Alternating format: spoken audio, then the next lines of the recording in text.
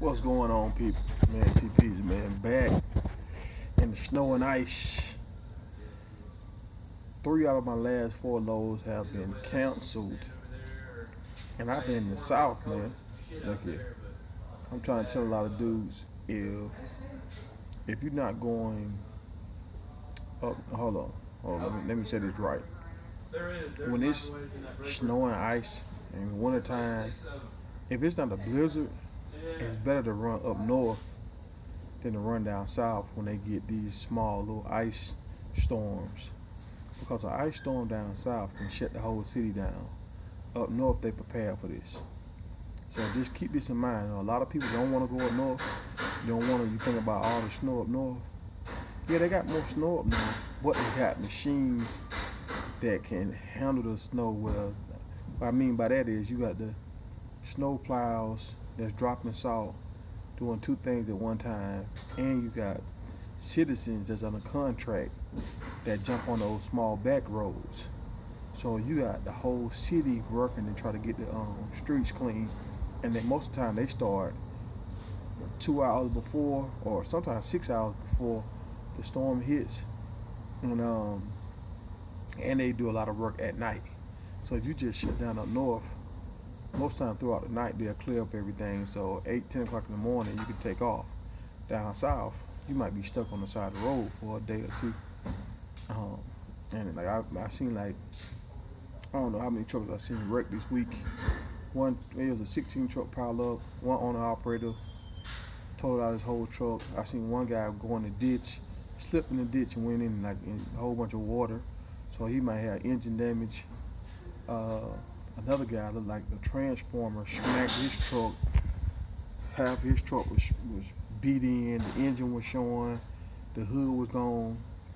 I mean, the whole passenger seat was smushed in, but the driver's seat was good. So I hope he survived, but I don't I don't think so because the truck was still sitting there like a, a day or so after.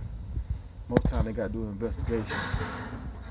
Uh, other thing I want to tell y'all for the snow and ice. Uh, some stuff you need to have. One, you need to stop and get you a bag of salt.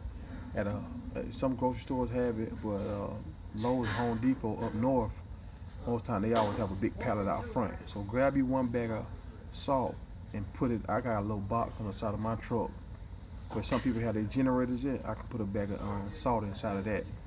That will come in handy. I did a video about that a long time ago. One of my first videos I did, just showing people how that that uh, salt can help you get out of a bad situation. If you don't have any salt and you had to call a tow truck to come pull you out, that could be five hundred dollars for them to pull you eight feet. Some people be leaning on you and they'll charge you two fifty, but a lot of people charge you five hundred to pull you eight feet. Um, so that salt could save your day. Um, if it's real bad, man, just shut down. Just shut down. Don't don't try to drive in the snow. Yeah especially when I don't care where you at. If it's bad, shut down. If the if the if the, the authorities are saying don't drive unless it's emergency, don't drive, bro. I don't care how hot that load is, you won't get in trouble for it because it's a state of emergency. You can always play that card and they can't penalize you. I mean, you might miss some money, but I'd rather miss some money than to miss miss out on, on life trying to uh, fight the elements. Uh, alright, you need your salt.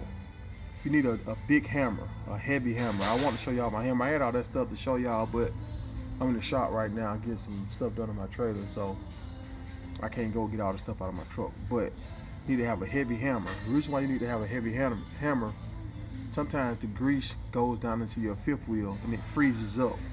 Like the, the snow and ice and all that stuff get in there and it freezes it up it's a pin on the opposite side that you pull the lever on.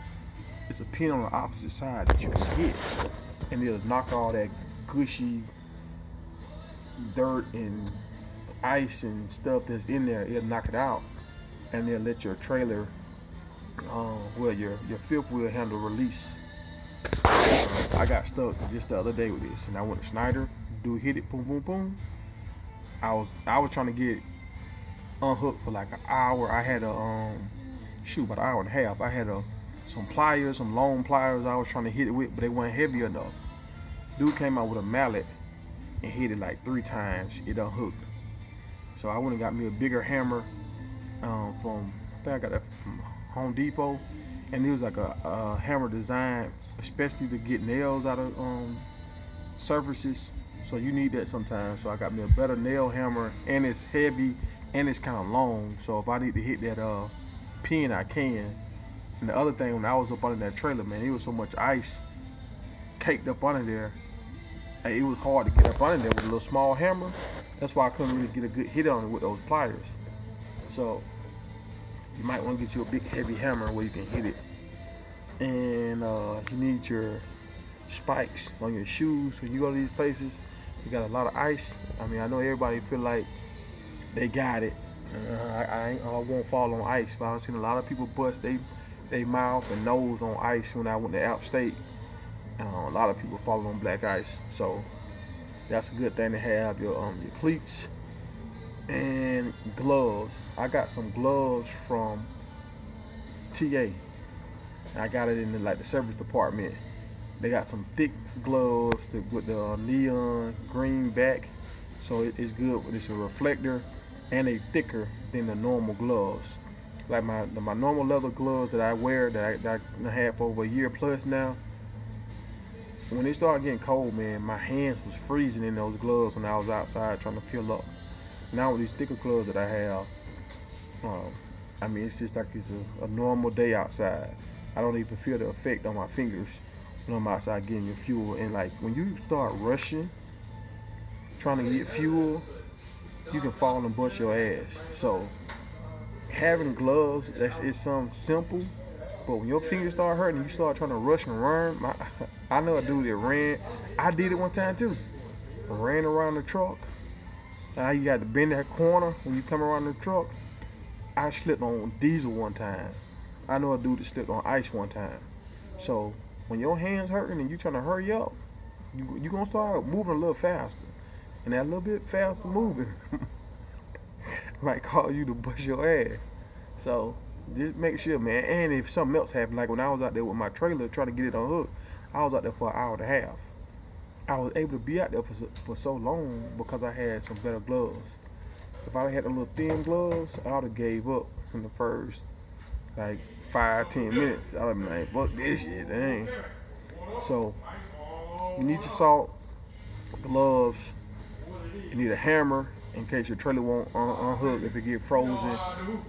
Um, the oil and stuff get frozen, and the ice and stuff get in there and get and freeze it up. And your cleats, you need cleats. And I, I got this this thing I want to show y'all. The this ah man, it's like a fleece something I got.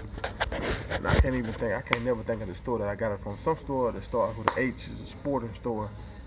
Uh, I want to say, nah, I'm not even gonna say it because I'm gonna it up. I'm thinking of another name, but it's a big store, and they had them on sale for like twenty dollars. Man, they double insulated and they fit tight to your body, kind of like a a seal suit or a swimming suit, so it helps you um, stay insulated, but you don't have that big coat getting all in your way. And you're getting fuel and stuff, that comes in handy. But uh, that's all I got, people. I'm trying to help y'all stay safe, make money. Remember, you might make more money up north than down south when it's cold out because they know how to handle the, the weather better. Um, last thing, I got another guy to come on this week so it's two dudes right now. They doing good. Well, the first dude, he he, he in a little in a little hole right now. He he left his ID. He left his ID. So yeah, remember when y'all come over here, man, slow down, slow down, and, and, try to pay attention. I know there's a lot of stuff going through your head, and uh, it cost him almost his first week almost.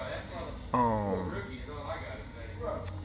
and uh, my other dude, he he doing good too. He booked a load, trying to go home and he kind of got a little confused with the, the radius, but he was he was focused more on trying to get home so he can just get his reset and everything. So we're gonna chalk that up to learning the load board and just trying to go home. He could have made like two grand going to the house. He ended up taking the load for 13.